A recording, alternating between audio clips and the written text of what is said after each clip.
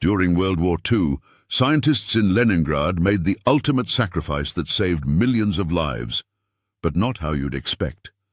When German forces surrounded the city for 872 days, 28 botanists locked themselves inside the Vavilov seed bank to protect over 250,000 irreplaceable plant specimens in 40 degrees temperatures.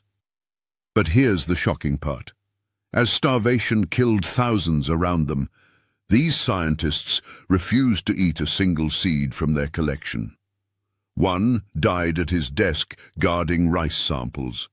Another collapsed beside potato seeds he wouldn't touch, despite fatal hunger. Every scientist chose to starve rather than consume what they protected.